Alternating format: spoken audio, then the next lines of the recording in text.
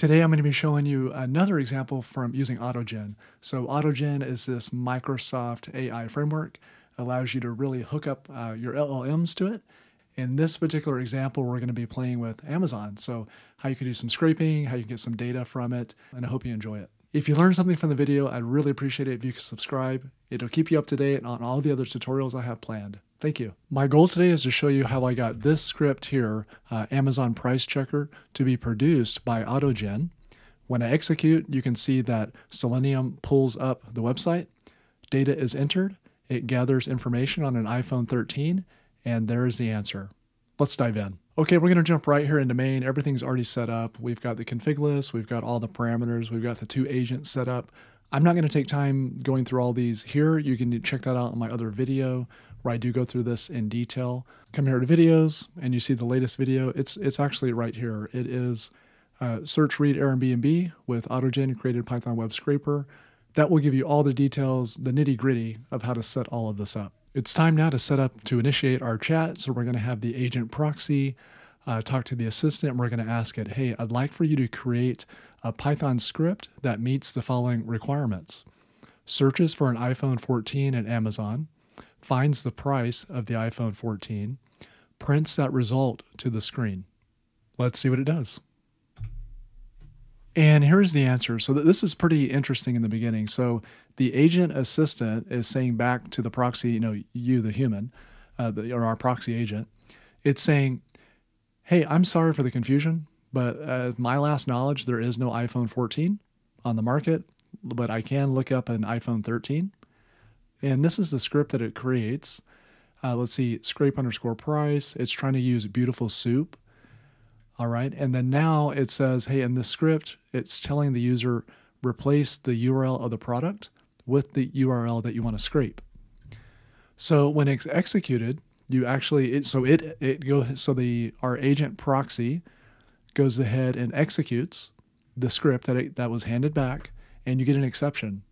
Hey, uh, invalid URL of the product. Uh, so you didn't supply. So you get an error from the Python code. And now the uh, agent assistant says, "Hey, I apologize for the confusion. Uh, the error occurred because of this. Here's a revised version of the script that uses a hypothetical website. Okay, instead of Amazon. So it gives you kind of an example here." And explains what this will do. Well, guess what? The agent runs it again and gets another error and says, hey, uh, this none type here, so it doesn't work. Then the agent assistant says, hey, I apologize again for the confusion. As I mentioned earlier, we can't really do this. And then, hey, I couldn't find the price. Uh, the structure may have changed. And then it terminates. Sorry, I couldn't do it. That is kind of our first attempt here at the prompt. Let's now update our prompt. We're going to add one thing. It's right here. We're going to tell we're going to tell our assistant, "Hey, just use the Selenium driver, please." And and let's see what answers you can give us. And let's see what we get for that. Okay, so with that hint, we do we do see this. So use it. We tell it use the Selenium driver, and it actually does that, and it and it's able, actually able to be successful. So we'll see how that is. And you can see the script here, Amazon price check that they, they named it. Actually, also is up here. So in your agent output, you see the two scripts it's created so far. And you're going to see it's loading up the Chrome uh, driver. Pretty nice. Sleep, wait, and there we go. I didn't tell it any of this. I didn't say, look for this, look for this. It already knew this. It does tell the user, hey, you need to install the Chrome driver. And check this out. It actually does it on my machine. It didn't do this install.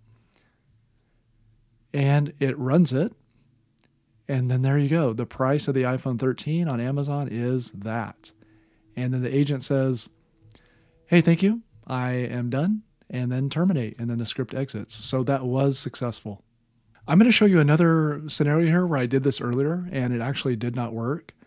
So if you dive into the code, you can see here driver path is equal to path to your Chrome driver. Like it, it can't find it. It doesn't know about it. And then when the agent runs it, it always gets this error. Hey, got an unexpected keyword, executable path.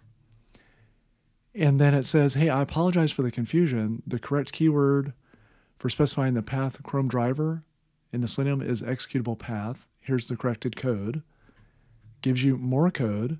Oh, and then it tell it tells the the agent. It says so. This is the assistant telling the agent the the agent proxy, please replace this with the actual path to your Chrome driver. So it knows the problem, and this uh, agent that's supposed to be doing stuff for us doesn't fix this. So then you you just get the same error over and over. So executable path. Okay, sorry, you should have fixed it. Okay, it's the same error. Okay, sorry, you should have fixed it. And the same error. So my point here is in this scenario, it did not work.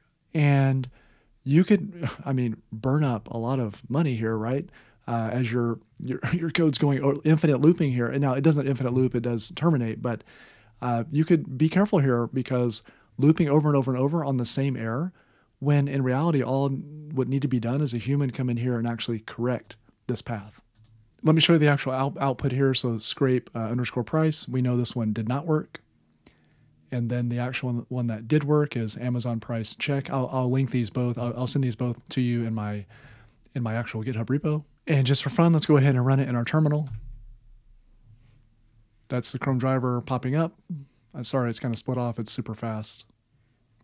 And there's the answer. So the, the price did not change. That wraps up the video. I hope you enjoyed it. And please check out the next video. That's going to actually take you through the detailed steps of setting up all the configuration parameters.